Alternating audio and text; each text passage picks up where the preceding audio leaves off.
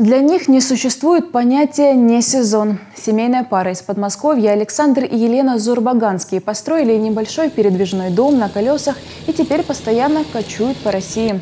В прошлом году семья приехала в Крым и сейчас путешествует по полуострову. Когда мы построили себе дом на колесах, а сезон для нас стал бесконечным.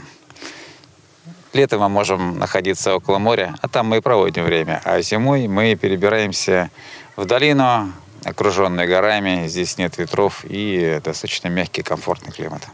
Мобильный коттедж построен из натуральных материалов своими руками. В нем есть все удобства и неоспоримое преимущество перед фабричными изделиями – приятный древесный запах. Хлопот с домом на колесах значительно меньше, чем с огромным домом, но все равно иногда нужно проводить какие-то действия, особенно после зимы, готовиться к весне.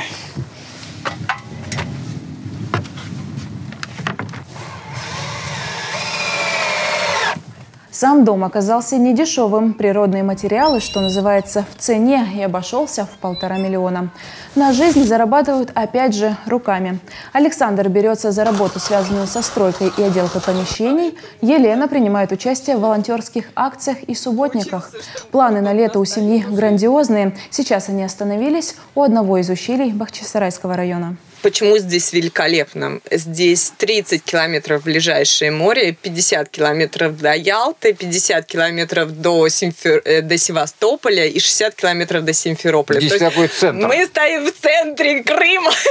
Для того, чтобы нам сгонять на море, достаточно зацепить один из наших домиков, маленький домик, да. и поехать на несколько дней к одним друзьям на одно побережье, потом к другим друзьям на другое побережье, потом к третьим друзьям какой-нибудь город и вернуться сюда.